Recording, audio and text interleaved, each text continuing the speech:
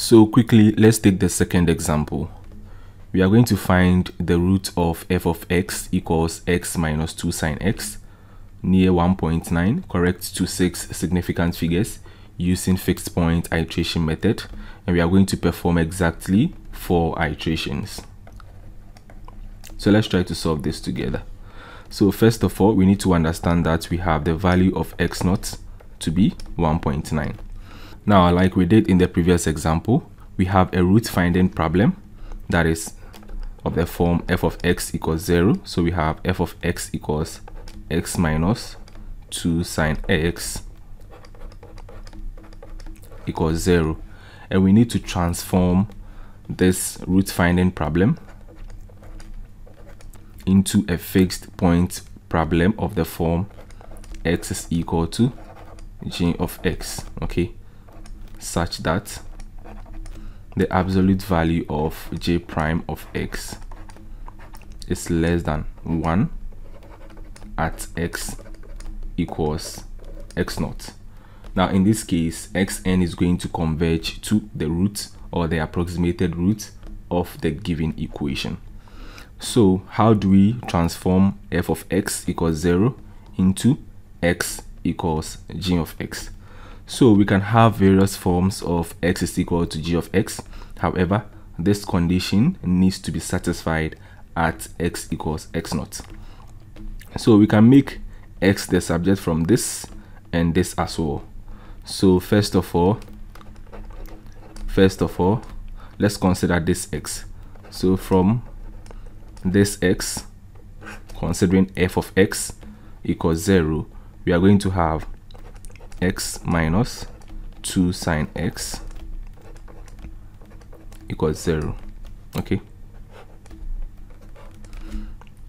Then let's try to make this x the subject which means that we are going to transpose this term to the right hand side. So we are going to have x equals 2 sine x and thus the right hand side becomes g of x Therefore, we have g of x equals 2 sine x. Now, we have the absolute value of g prime of x. That is equal to we are going to differentiate this equation with respect to x. So 2 is a constant it remains the same. We differentiate sine x and then we have cosine of x so this should be less than 1 at x equals x naught, which is 1.9. Therefore, we are going to have 2 times cosine of 1.9. Notice that your calculator should be in the radian mode. It should be in the radian mode when you are calculating this. So this should be less than 1 and then this is equal to we have negative 0 0.6465 dot dot dot. The absolute value so it becomes 0 0.6465 dot dot dot. And this is obviously less than 1 okay? This is obviously less than 1 which means that which means that xn is going to converge to the roots of the given equation. So what we do here, straight away we can obtain the iterative function, the iterative function. So since we have x to be equal to g of x, where g of x is equal to 2 sine x, we have the iterative function that is x n equals g of xn minus 1 and that is equal to we have g of x to be equal to 2 sine x. So wherever we see x we are going to replace that with xn minus 1 so we are going to have 2 sine xn minus 1 so at this point we can perform the various iterations. So for the first iteration for the first iteration we are going to have x1 that is equal to g of x naught and that will be equal to 2 sine. So here becomes x 1 minus 1 which is x of 0 okay? So x of 0 is what has been given is what has been given as or x naught is what has been given as 1.9 okay? X naught. So we have 1.9 here. When you compute this remember that your calculator should be in the radian mode. So when you compute this you are going to have 1.89260 1.89260 and then you move on to the second iteration. You have g of x1 that will be equal to 2 sine. So you fix this value in here. That is 1.89260 when you compute this you have 1.89733 you move on to the third iteration. That's equal to g of x2 so that'll be equal to 2 sine. You put this here 1.89733 and that's going to give you 1.89432 432 and then lastly we have x4 which is equal to g of x3 and that's equal to 2 sine. You put this here 1.89432 and that's equal to 1.89624 therefore the approximated root or solution of f of x by fixed point iteration method after four iterations is equal to the value we have here. That is 1.89624 so now let's move on to the last example. So to the last example we are going to solve this equation by fixed point iteration method and we are going to perform only four iterations given that f of x is equal to x plus ln of x minus 2.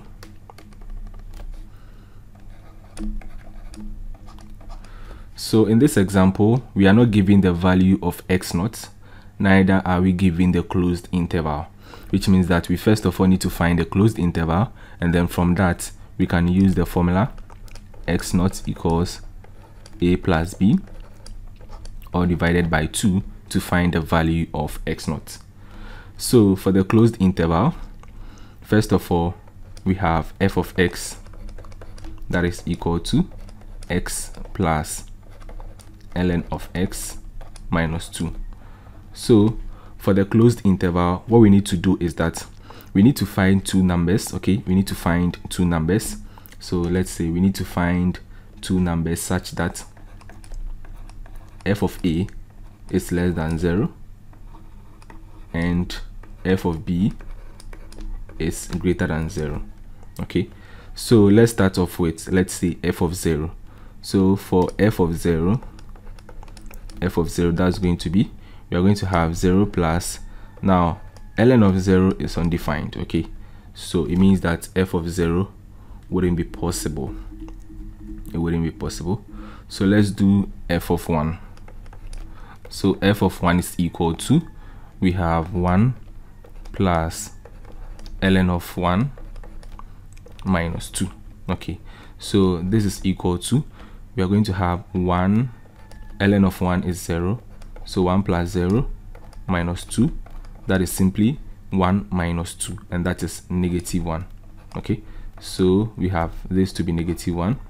And then the condition is that f of f of a should be less than 0 so f of 1 is less than 0 okay negative 1 is less than 0 so we are good to go with the value of a. Okay so it means that the value of a is this value not this value this value that is 1 f of a is 1 and this value is less than 0 again let's say let's do f of 2 so f of 2 becomes 2 plus ln of 2 minus 2 that will be equal to.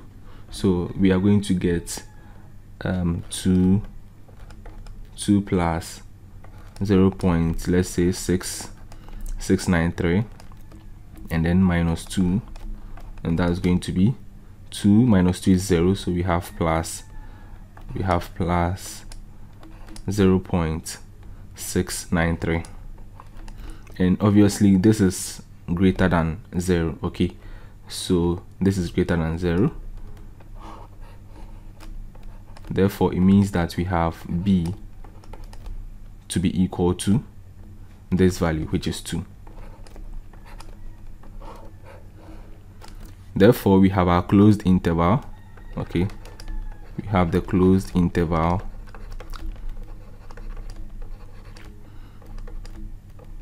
that is AB is 1 2